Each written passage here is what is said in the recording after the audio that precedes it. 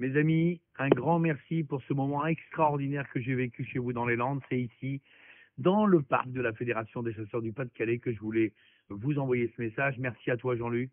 Merci à toi, Régis. Merci pour cet accueil extraordinaire que vous m'avez fait. J'ai passé un moment formidable. C'était d'une chaleur, d'une convivialité extraordinaire. Cette fusion que j'ai eue avec vous, avec la salle, et surtout, je n'oublie pas, et je ne lâcherai rien, il faut défendre nos chasses traditionnelles jusqu'au bout. Mais regonflé comme je le suis après d'être passé chez vous, je peux vous dire qu'on va les gagner et on va les garder. Vous pouvez compter sur moi. Et je sais maintenant que je peux compter sur vous. Merci du fond du cœur.